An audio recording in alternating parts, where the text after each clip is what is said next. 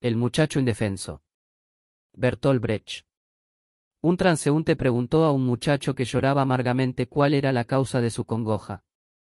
Había reunido dos monedas para ir al cine, dijo el interrogado, pero se me ha acercado un chico y me quitó una, y señaló a un chiquillo que estaba a cierta distancia. ¿Y no pediste ayuda? preguntó el hombre. Claro que sí, replicó el muchacho, sollozando con más fuerza. Y nadie te oyó.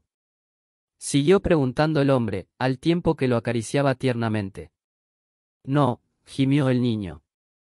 ¿Y no puedes gritar más fuerte? preguntó el hombre. No, replicó el chico, mirándolo con ojos esperanzados, pues el hombre sonrió. Entonces, dame la que te queda, dijo el hombre, y quitándole la última moneda de la mano, prosiguió despreocupadamente su camino. Fin.